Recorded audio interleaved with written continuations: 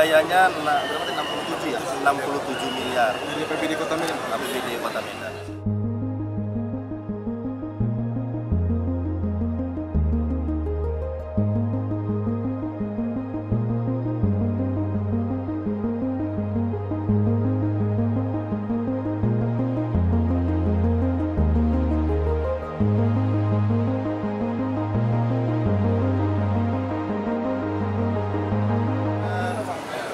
Dua ratus lebih ya?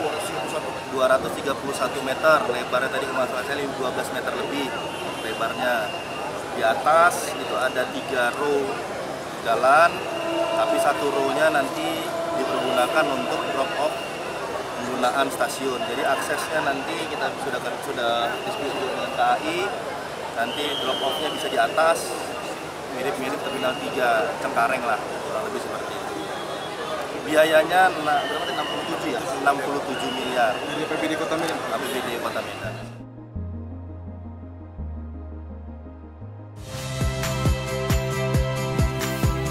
Saya Iriana Mardanus. Saksikan program-program Kompas TV melalui siaran digital, pay TV, atau media streaming lainnya. Kompas TV, independen, terpercaya.